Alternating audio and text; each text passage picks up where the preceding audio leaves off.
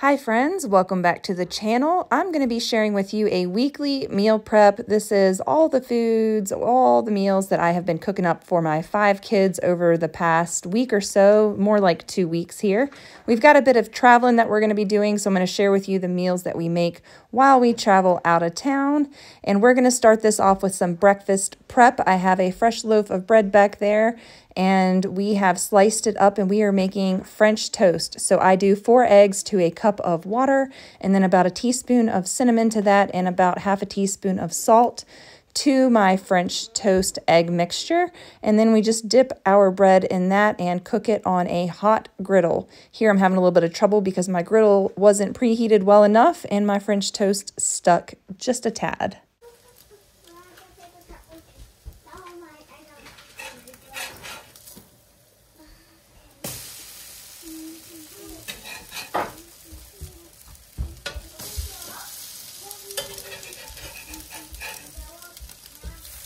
Monica, they didn't stick this time because the griddle was hot enough.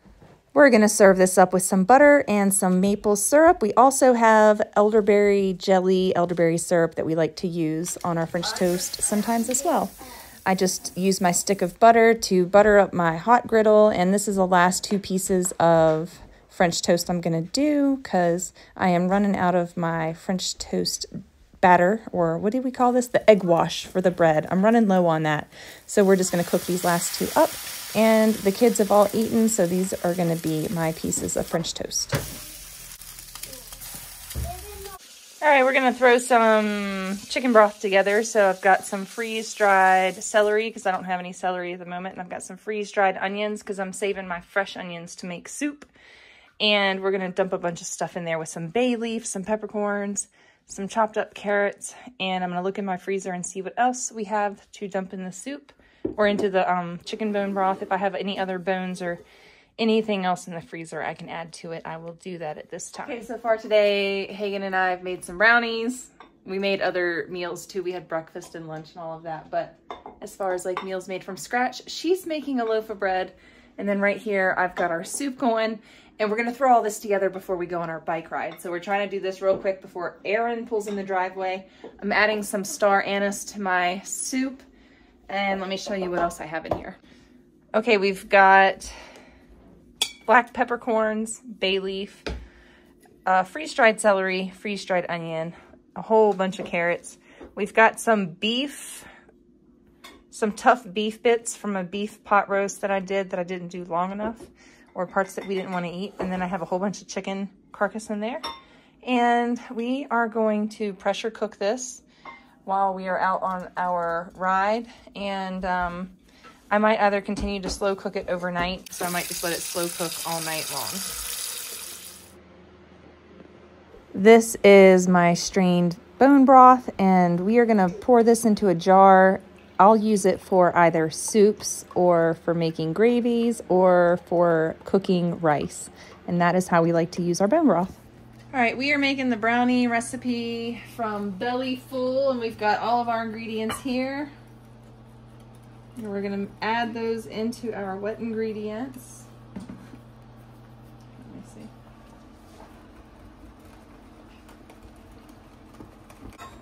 I need to hold this here.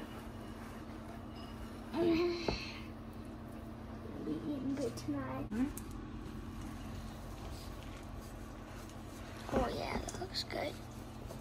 This is called folding. So now we're folding the chocolate chips into the brownie mix. We're making sure our brownie mix is all mixed up.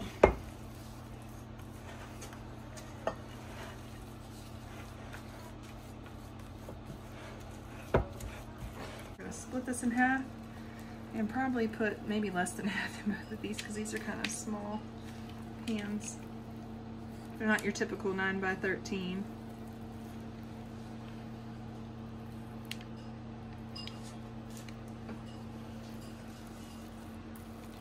So we'll see about how much this does. Both of those will start out with that.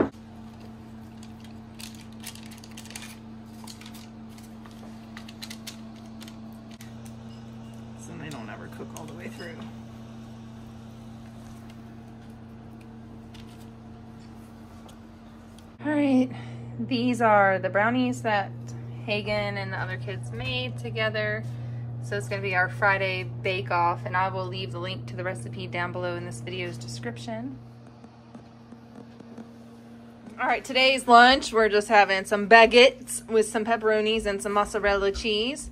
I'm thinking, I don't know if we're gonna do any sauce yet or not, but we also have some grapes at the table. Just a quick and easy way, bake at 400 degrees for 10 minutes.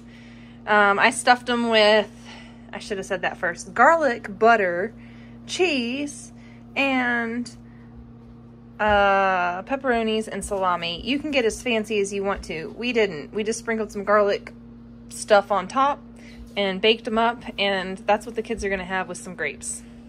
Whoa! All right, we're having sloppy joes with some fruit, but we're also gonna have some veggies.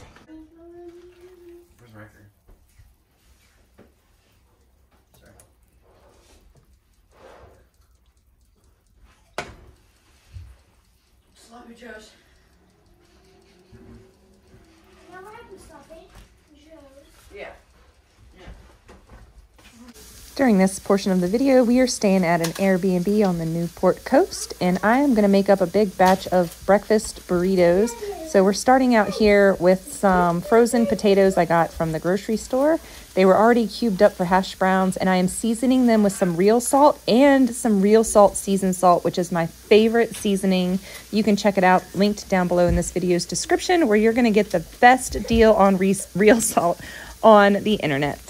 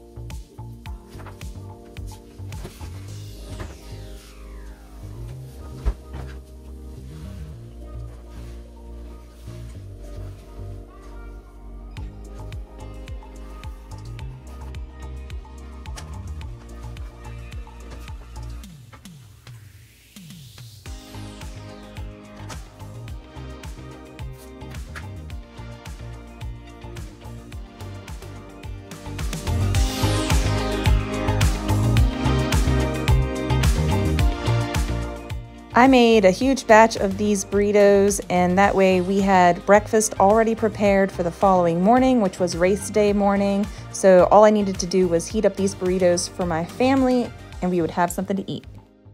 All right, tonight our amazing easy meal out of town is going to be a Caesar salad with some tortellini and some sauce. Not going to have salad. Okay, do you want a little bit of pasta? Yeah. Cheese pasta? Yeah. That sounds really good. Where'd you go? That sounds really good. You're so cute. Here we go. Lock the van. Whoa, this Can you carry is that? Don't drop it. All right, we had a full day of racing, eating food. I didn't share everything that we got, but we had leftover. Um, we had breakfast burritos. We had turkey sandwiches that I packed. And now we're gonna go into Mo's. Famous Mo's for their clam chowder. It's delicious, it's amazing. We come here every time we come to Newport. It's amazing. So we're gonna go in here and eat some Sunday dinner. All right, I got oyster shooters. They're amazing. And uh, what is it called? Clam chowder. And then all the kids got fish and chips. Maybe we should. Aaron got fish and chips. We also had calamari, that's gone. And then he had a really good prawn salad. We're sitting here parked, and then somebody backed into our bike rack, and you can see the bottom bar is bent. We were able to get it repaired quickly. We have been busy, busy today. Five kids, always busy, head spinning around constantly. So we had an orthodontist appointment this morning, and now we're back home. I'm hungry. I haven't had breakfast or anything because homeschool kids, forgot about the appointment, made it to the appointment, and now we're back again. So I'm starving. I want spaghetti and meat sauce, so that's what we're having for lunch. I know it's typically a dinner item, but we're just gonna go ahead. We have mountain bike practice tonight. Aaron's out of town for the whole day. Uh, and so I'm just gonna go ahead and make dinner now for lunch. And then that way later we can just have easy peasy sandwiches. I need to make a loaf of bread. We're down to, I mean, when I make a loaf of bread, we feed a meal and this is all that's left. So I need to make another loaf of bread for this evening and tomorrow. That way we can just have easy sandwiches or something after mountain bike practice. But I've got two pounds of ground beef right here. I'm only gonna use about a pound of it to make my spaghetti meat sauce. I'm just using a jar of organic Costco sauce that's gonna go on top of this meat. I season the meat with granulated onion, granulated garlic, you know, the, seas the dry seasoning because I'm not cutting up anything. Uh, and then we're just gonna use some of our Azure Standard spaghetti noodles that you can buy in bulk through Azure Standard. It's awesome. Get a big old bag of spaghetti noodles and we're gonna cook those up and then we're gonna have spaghetti for lunch. It's gonna be delicious. I'll show you the finished product in just a moment. Okay, I divvied up the meat and it just made sense to go ahead, if I'm gonna brown up some burger, to brown up burger for another meal. Now we can have that as, if I decide to turn it into taco meat, which I probably should have added some seasoning and made it taco meat, but uh, we'll figure out what to use it for in the next day or so. Next up, we're gonna come over here to this pot. This water is almost boiling. I got some, you can see the minerals from the Redmond's real salt down in there. If the water looks dirty, it's just because I stirred it with my meat spatula, just to stir in the salt. Here we go. Put this lid back on, bring it back up to a boil, and let it simmer for 10 minutes.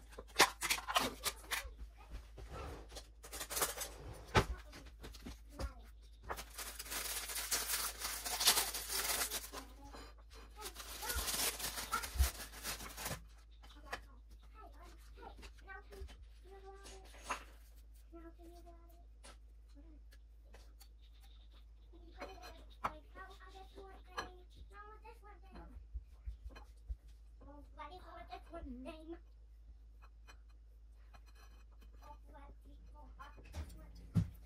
you ready for a different game? Yes.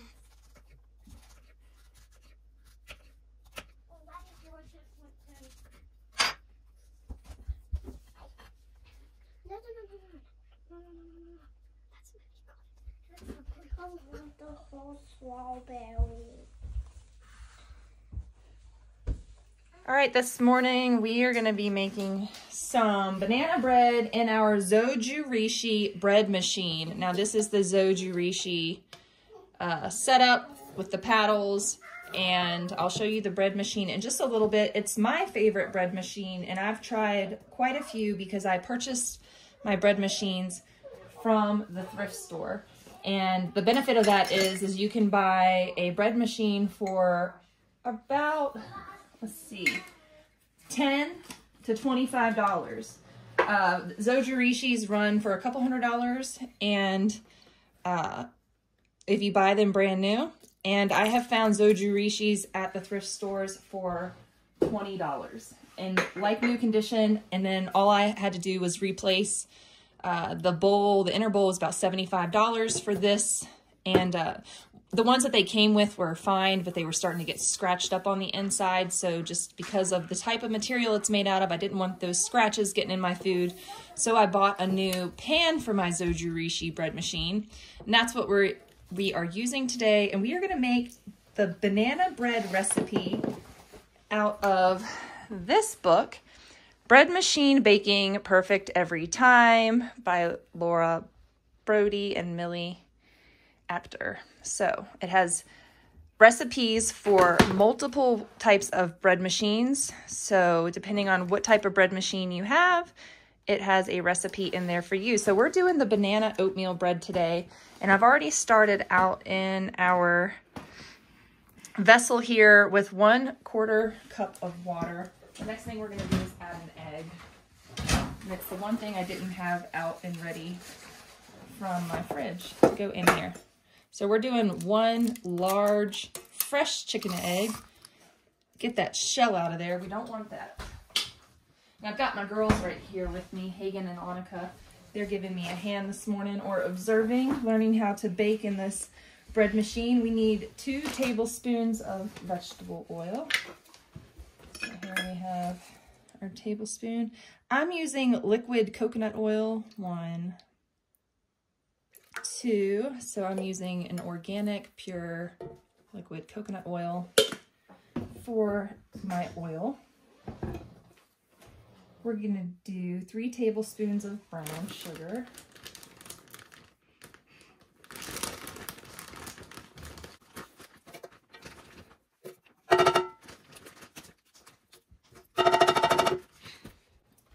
One and a half teaspoons of salt.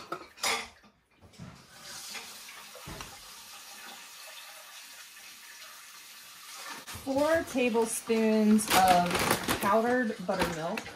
And you always add your ingredients in the order that the recipe calls for anytime you're making bread machine bread. So I don't have powdered buttermilk, so we're just using regular powdered milk in here. One cup quick cooking oats, and then I need some boiling water. Hagen, can you grab a kettle? How many cups? So we've got one cup of quick cooking oats.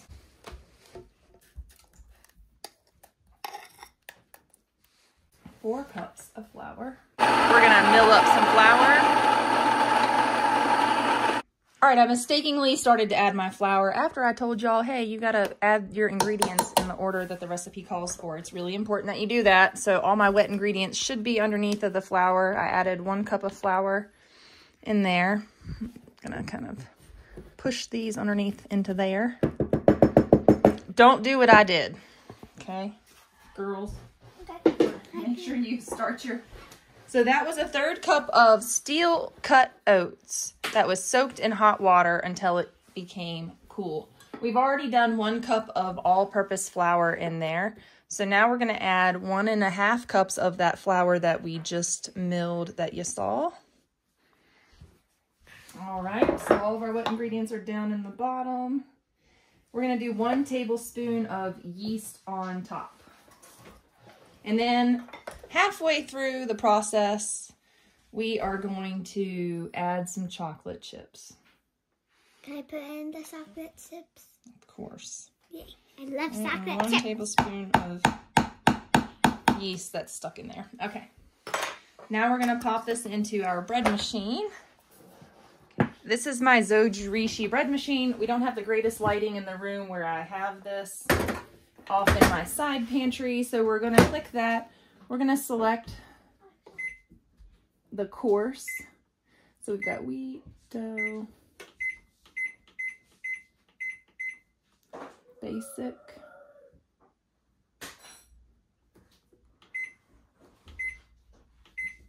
Start. There we go. So this is going to preheat all the ingredients and start mixing them up. Okay, then amidst all of our bacon stuff here, we're going to add, we're going to get our uh, other ingredients that we want to add to this particular recipe. Um, So I'm going to do about, walnuts. hmm? Walnuts. Walnuts. about half a cup of walnuts. Now chocolate chips. Okay. All right, pour the bag into the bowl. The whole one? Yep, the whole bag. You might even need to do more than that. What's a baby chocolate chip? Yep, we're using the little mini emergency stash of chocolate have chips. One. Yep, you can have a couple. So we got walnuts and chocolate chips, and after our uh, bread has mixed for a little bit, we're gonna add those in. It beeps at us. It goes beep, beep, beep, beep, beep, beep, beep. Not like that, but it beeps quite a few times to let us know that we can add our additional ingredients. So we're gonna use the rest of this banana puree to make some muffins. All right, so this isn't gonna be like a typical dough. Usually your banana bread dough is gonna be sticky, wet. Uh, go ahead and scrape down the sides. You don't have to scrape down your sides. What happens if you don't scrape down your sides halfway through is you get some dry ingredients uh, on the outside of your loaf of bread, which isn't, you know, a huge deal, but it does help to kind of scrape all the ingredients down into your bread. All right, my Zojirushi now says add, and that is to add the ingredient. Ooh, satisfying sound. Let's see if it actually mixes it up.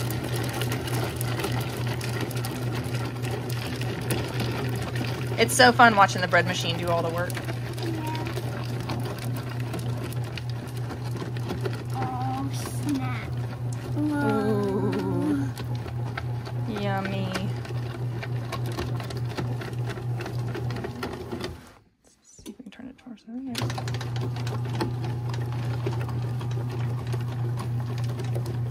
It gets it all mixed in there for us. So we just throw in the ingredients and walk away. We can go to the grocery store. We can go read a book. We can go do homeschool. And this is doing all the work for us. Yep, we're gonna make some muffins with the leftover mashed bananas. We're gonna throw those in the oven. We'll make those up real quick. All right, we're gonna make Hagen's recipe for triple chocolate banana bread. So we're gonna do this plain Greek yogurt, but we're gonna go ahead and make strawberry banana bread. So we need a quarter cup of that. Might be a little extra. Half a cup coconut Here, Torsten, do you want to eat this? The rest of that? Half of a cup coconut oil. All right, mom's just gonna pretend like I know this. One, two, three, four. That's half a cup. All right. Uh, two large eggs. Hmm, You want to crack them right there? Do you want to crack one? No. One. I don't trust myself anymore. Why? What happened? Because one time I was cracking eggs It exploded. One just ex- this one just exploded too. Well, no, there goes a shell. exploded on the I keep getting shells. If they get, if they explode, then they're old. All right, next up. One teaspoon vanilla extract. All right, open that up and pour a teaspoon in. I don't measure wet ingredients because they get the measuring spoons dirty. All right, maybe a little extra if you're sassy. And what else? Uh, two cups all-purpose flour. Whisk together the wet ingredients, including bananas. Do the same for the dry. Oh shoot, I just got oil all over my clean vest. Whisk that up. All right, once we got all the wet ingredients mixed, we're doing two cups of this and what else? Two cups of that and one cocoa powder. One and four cups. All right, you know the deal with the cocoa powder. We gotta sift it. All right, and what?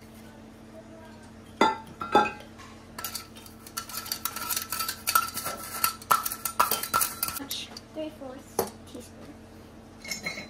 And then what else? And then one half a teaspoon baking powder. I'll do it. I got the half right here. All right, what else? Mm, half teaspoon salt. Okay, what else? And one third of chocolate. So throw into it and then add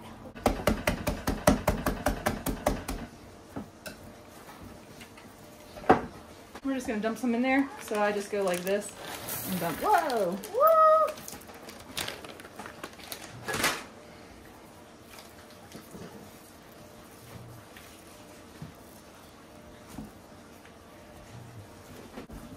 Cups. Yep. They're up in the cabinet with the baking supplies right here. And how fitting, we've got fall, y'all. Paper cups.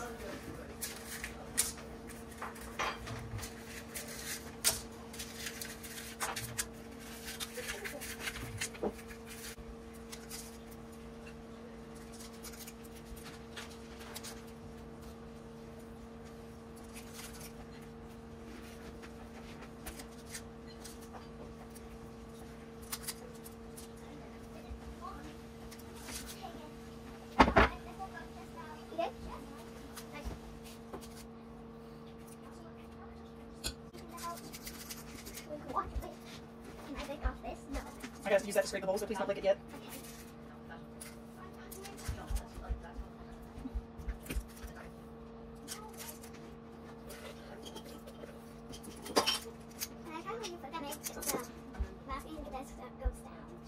Down? Okay, so we forgot the sugar. Uh, rookie mistake on my part. I got five kids, and as you can hear in the background, there's a lot going on. And between homeschool and trying to feed people, I do things like forget stuff. So the chocolate chips have sugar in it. There you go, kids. Some no sugar muffins. We'll put some sugar on top. Let's do, let's sprinkle the top with some Yeah, we're out of we're out of granulated sugar, so we're just gonna sprinkle some, sprinkle some of this.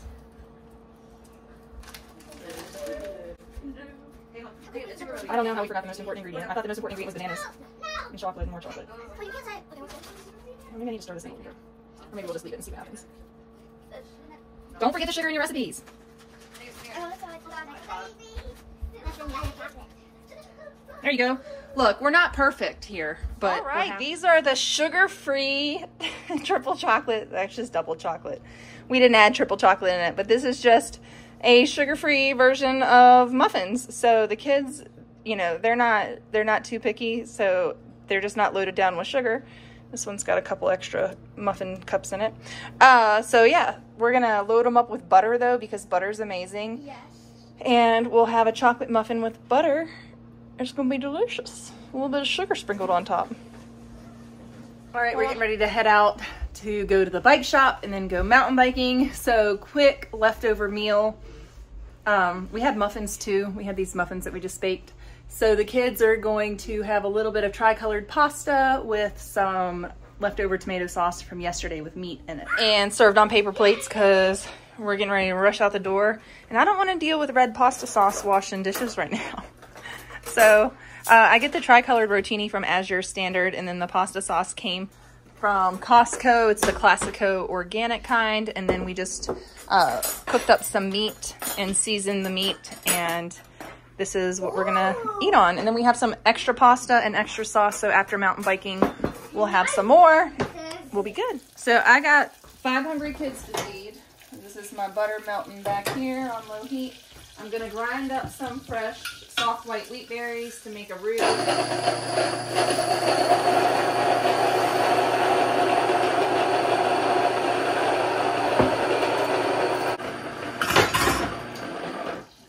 We're gonna do a couple of tablespoons of that in here with our butter.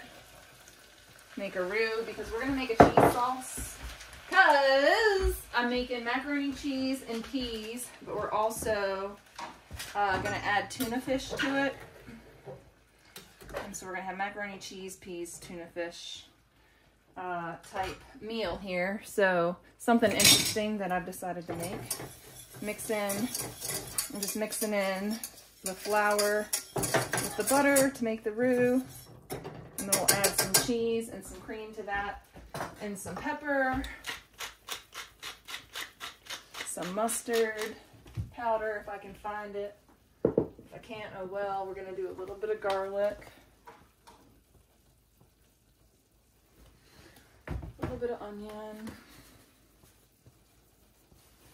Okay, we're gonna add some cream into this, some heavy whipping cream because that's what I got.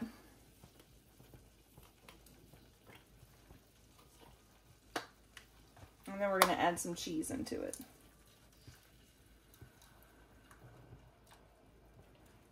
I might do some milk in here too.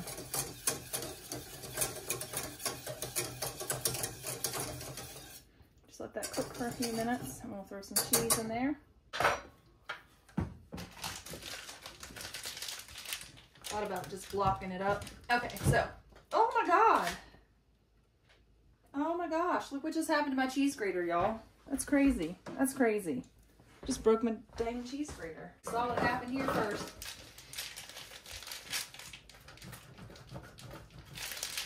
So I buy this cheese in bulk from Azure Standard in five pound logs, and then I cut it up and uh, vacuum seal it. Y'all see I've been buying some shredded cheese from the grocery store. It's because this takes time and energy, and I'm trying to paint my porch. Uh, but this is good. So we're gonna use this white cheddar right here. And then I gotta get right back out there and keep painting my porch. If you're wondering why I'm wearing this old raggedy sweatshirt with paint stains on it, it's because that's what I've been doing the last day, couple days. It's painting my porch. Okay, so we're also gonna cube up some cheese for this roux. Just start with that right there, see how that tastes. You know, you make a roux to stretch your cheese. We're gonna need a lot more than that. But to get it going, I'm gonna show you the finished product. So I don't have measurements. I just make a roux, throw some cheese in it. I've got my other stuff cooking over here. That's gonna take a little while to thicken up. Mmm, tastes really good though. All right, we're also gonna add a little bit of milk to our cheese sauce, just because I added that heavy whipping cream. That's pretty, it's pretty heavy, but I don't want to water it down. I want it to be real creamy. Creamy and delicious. We're gonna add a little bit of salt to this after we give it a good stir and taste. Cheese hasn't quite melted into it yet, especially because I just added that cold milk. All right, we're just adding a little bit of mustard to this sauce as well. Makes for a nice little flavor. Okay, here we go. We've got our cheese sauce. And we're gonna pour that in over top of all of this mess.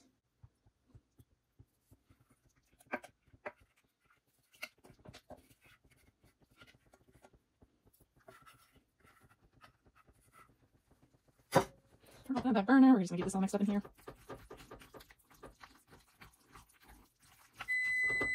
Just in time.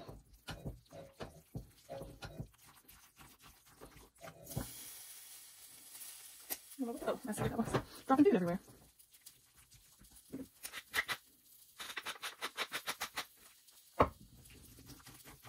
Good stuff right there.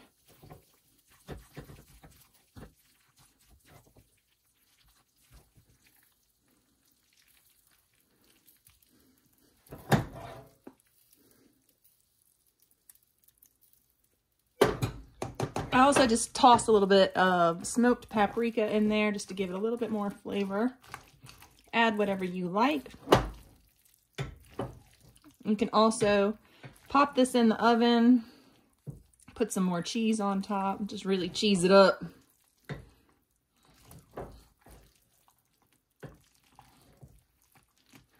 There we go. I'm going to feed my five hungry kids. So this morning we made oatmeal and Hagen did a sugar experiment where she added tablespoons of sugar to a quarter cup of water for science. So we added that to our oatmeal. But we also added these sun-dried mixed berries from Sun-Maid. So that's what you see in there. We also added some cinnamon. And we did organic chia seeds, hemp hearts, and we're gonna throw some brown sugar on top as well as some butter. I got butter right here, some salted butter. We're gonna serve that up to the kids. So we've got chia seeds, whole hemp seeds, oatmeal, and a bunch of mixed berries. We also use Redmond's real salt in there, and it makes a really tasty.